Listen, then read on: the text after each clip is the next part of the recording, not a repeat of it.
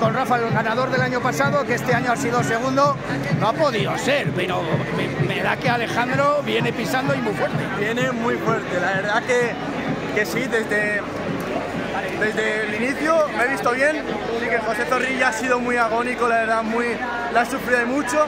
Y ya pues he ido ya con el gancho todo el rato hasta que he visto cuarto y cuando he visto cuarto digo tengo que darlo todo a quedar segundo. La verdad que estoy súper orgulloso de que me haya ganado Alejandro porque llevamos muchos años dando juntos y es un placer. Al fin y al cabo es un amigo más y es... ¿Le has tenido eh, visible en la carrera durante todo el recorrido?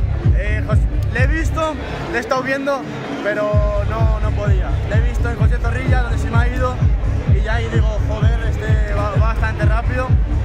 Y ya luego ya, que está lejos, me he centrado en mi carrera. Mi objetivo era quedar tercero o segundo con suerte. He acabado San Juan y digo, quedo tercero y lo celebro.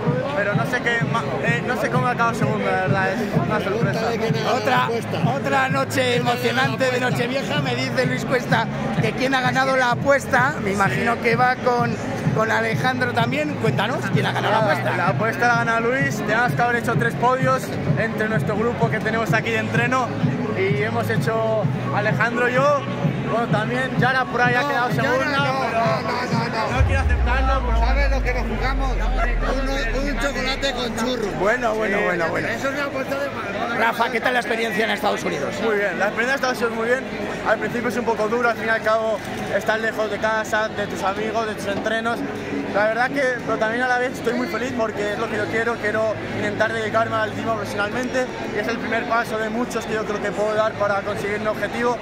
Y es duro, la verdad que es bastante duro estar allí, eh, estás sobre todo lejos de casa, lejos de tus amigos, de tus familiares, donde tienes tus amigos allí, pero no lo mismo, al fin y al cabo entrenas con gente que no son tus amigos, no es como aquí que, por ejemplo, yo con Víctor, que tengo una relación muy distinta, que con el entrenador allí es más una relación más profesional, donde sí que algunas cosas faltan, pero yo creo que esta temporada se puede dar muy bien con los objetivos.